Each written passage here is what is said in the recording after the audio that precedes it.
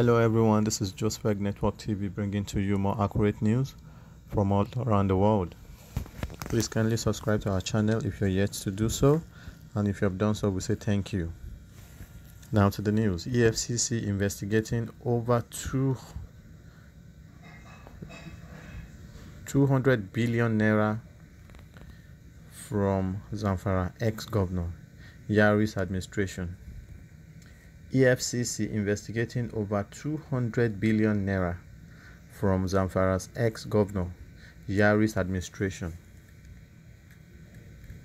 The Sokoto Zonal Office of the EFCC on Monday stated it is currently investigating a total sum of 200 billion naira in Zamfara state in relation to the former governor Yari's administration.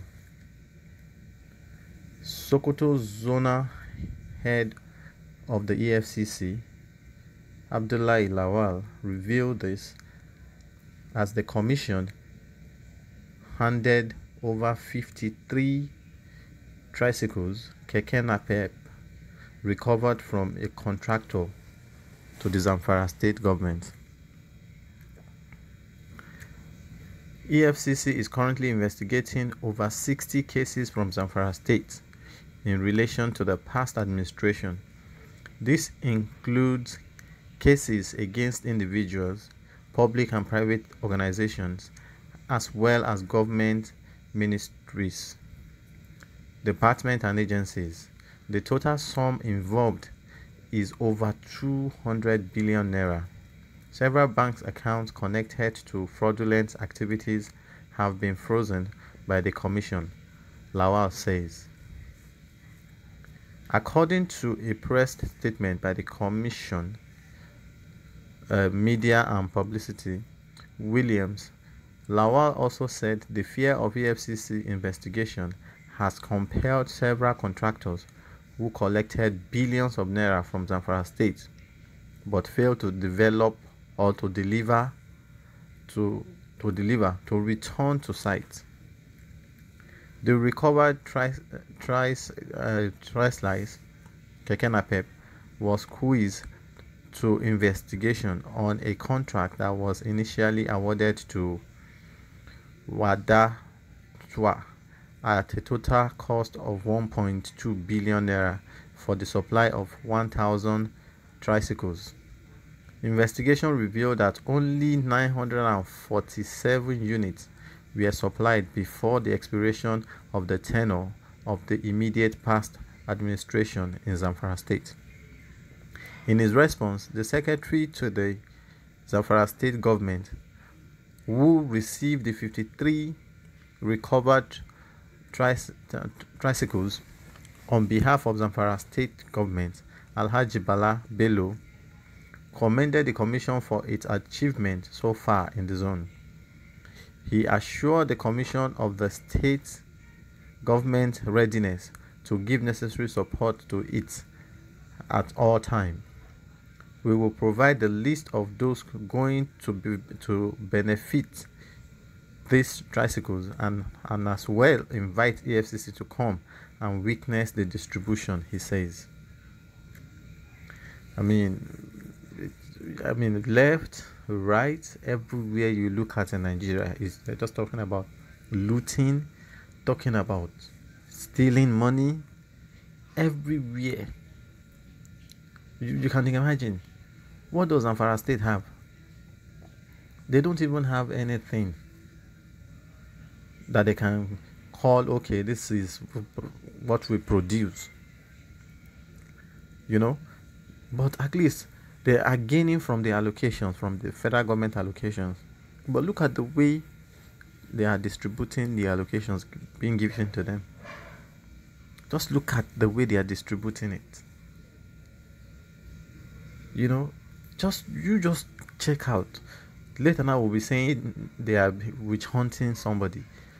But seriously, if these people did not commit these crimes, EFCC will not go after them. It is because they committed these crimes that is why EFCC is going after them. 200 billion. They've killed, they've, they, they, they already killed that state already. How can that state have infrastructures? How can they have good potable water when one person is embezzling more than 200 billion naira already from the uh, from from from their purse from the government purse they can't even say this is how they spent the money. Because they just share the money between themselves. Nobody will say anything. After all we've been doing it before and we get away with it. So this one will not be different. That is their thinking. And they keep embezzling this money, killing the, their citizens. Because once you don't do what you're supposed to do, once you don't provide basic amenities to your citizens, directly or indirectly, you're killing them. You're killing their education, you're killing their infrastructures, you're killing their economy. And that is what has been happening all over Nigeria. Go to Lagos, the case of looting is there.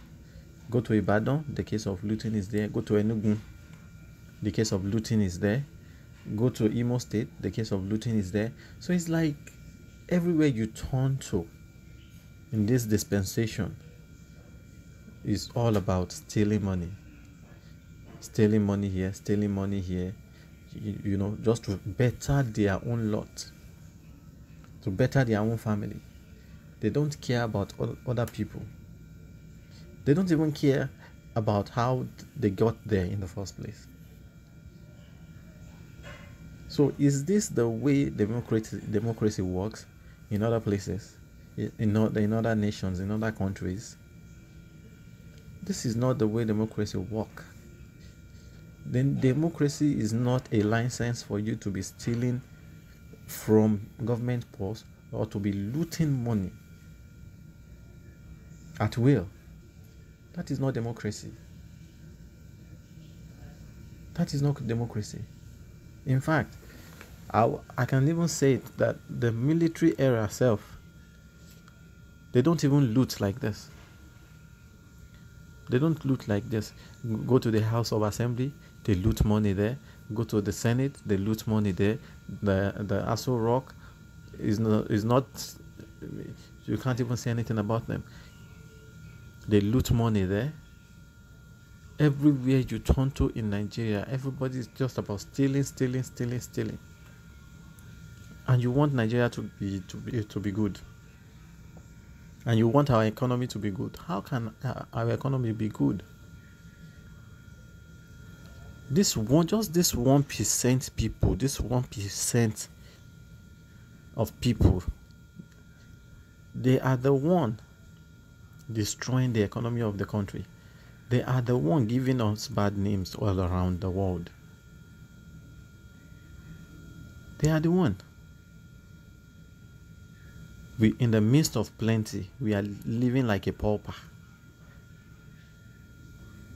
Times are hard. Things are hard. People can't people can't even afford three square meal anymore.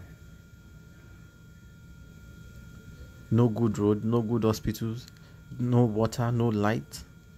So what are they really giving us? Except for they just loot the money, they just loot the money all the time. That is all they know how to do. If places like Zamfara they can be investigating about 200 billion naira. As small as Zamfara is, they, uh, they've already crippled the economy of that, that state already. No wonder nothing is working there. No wonder nothing is working. Huh? No wonder. All the time they just loot, they just loot and embezzle and embezzle our money. It is unfair. It is unfair. It is unfair for the Nigerian citizen. It is very, very unfair. Nothing is working, and still yet you're looting, stealing from us, with the citizens. And if anybody talks now, you will say they are witch hunting you. If you if you if if they didn't do it, they wouldn't they wouldn't even witch hunt them now in the first place. It is because they did it that is why EFCC is witch hunting them. If there is anything like that. There are so many people in Nigeria that should be in jail right now. That should be in jail right now. Just imagine they don't even know how they spent the money 200 billion naira. They don't know how they spent it, they can't even account for it. And it is a lie. They know how they spent it. It's just that they know they stole it. And that's why they can't account for it. I don't know. I don't know. It is high time with the masses stand up on our right, stand up on our feet, and begin to, to, to question all these leaders. And begin to and begin to take what belongs to us from them back. It is time. It is high time. What do you think about this particular news? Kindly um, leave your comment in the comment box for us. And please, once again, don't forget to subscribe to our channel if you're yet to do so. And if you have done so, we say a very big thank you to you. Bye.